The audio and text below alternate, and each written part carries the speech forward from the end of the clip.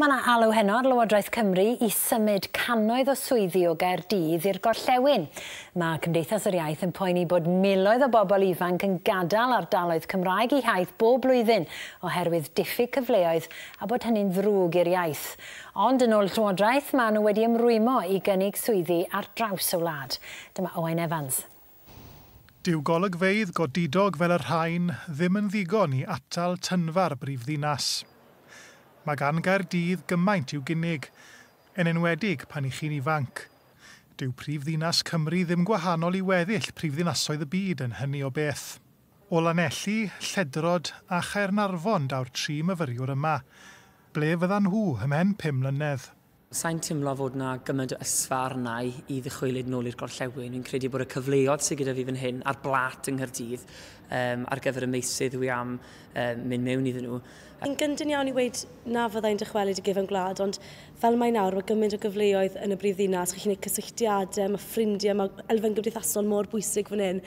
Mae rhaid cael bysoddiad sylweddol i gyfan gwlad mewn pum mlynedd os fyddai'n symud nôl i Gerdigion wrth gwrs, o'n i'n wrth y modd yn mynd nôl i Ogledd Cymru, dyna yw fy nghartrau i, ond i fod yn onest, does a ddim lot o gyfleoedd i bobl ifanc ar y funud.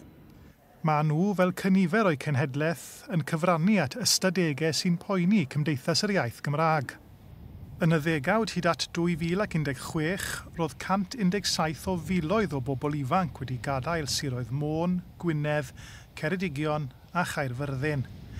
Ac yn ôl yr ystadegau diweddara, fe nath 3,670 o bobl ifanc adael Ceredigion rhwng 2015 a 2016, bron i 20 o bobl ifanc y sir. Gallwn ni weld yma, yma cymunedau heb, heb bobl ifanc,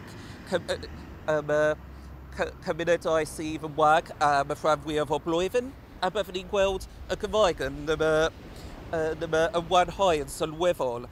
Um, yn yr ardaloedd lle mae'n dal yn gryf iawn fel, fel iaith cymunedol, a mi fyddai hynny yn egyd mawr i'r iaith Gymraeg.